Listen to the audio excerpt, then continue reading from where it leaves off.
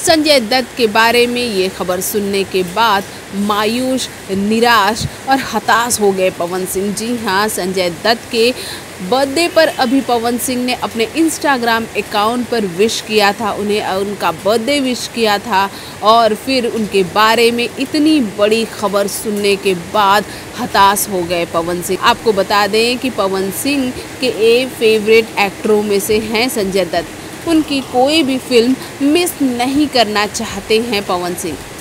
संजय दत्त को lung cancer है, stage three पर है वो, और ऐसे में वो तुरंत, जैसे ही उन्हें ये बात पता चली, उसके तुरंत बाद वो यूएस के लिए रवाना हो गए।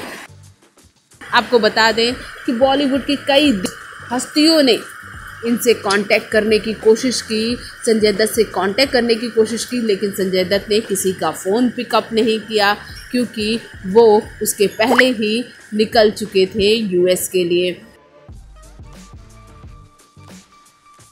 और आपको यहाँ ये भी बता दें कि इसके दो दिन पहले अभी लीलावती हॉस्पिटल में एडमिट थे सांस लेने में तकलीफ़ बताई जा रही थी और फिर उसके बाद अपने इंस्टाग्राम अकाउंट से आज ही संजय दत्त ने लोगों को ये बताया कि वो एक शॉर्ट ब्रेक ले रहे हैं। लोगों की दुआएँ चाहिए। वो अपने कुछ क्लोज फ्रेंड और फैमिली के साथ होंगे।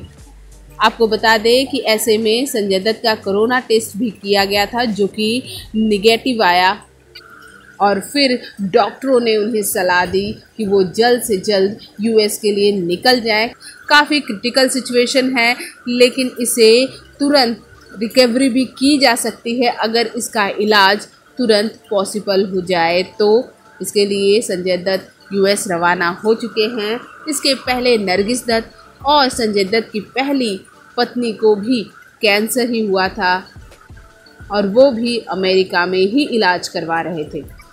और आपको बता दें कि जैसे ही ये खबर पवन सिंह के पास पहुँची, पवन सिंह काफ़ी हताश, निराश हो गए, क्योंकि उनके वन ऑफ़ द फेवरेट एक्टरों में से हैं संजय दत्त। आपको तो पता ही है, हमने वीडियो की शुरुआत में ही बताया कि संजय दत्त के बर्थडे पर भी पवन सिंह ने विश किया था। पवन सिंह बहुत कम लोगों को बर्थडे विश करते हैं और उनमें से संजय दत्त एक हैं, जो कि संजय दत्त, क्योंकि उनके काफ़ी पसंदीदा एक्टर हैं।